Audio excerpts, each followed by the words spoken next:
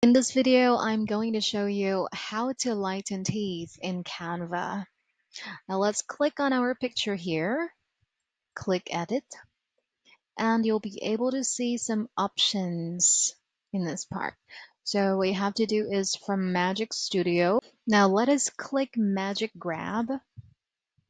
After that, click on brush and we'll need to brush the teeth of this person, just like that, and make it very meticulous. Okay, and after that, let's click grab. Okay, so grab means you'll be removing that part of that photo. So, ta-da! That's what happened. This one's really funny, but this is really effective, as you can see here.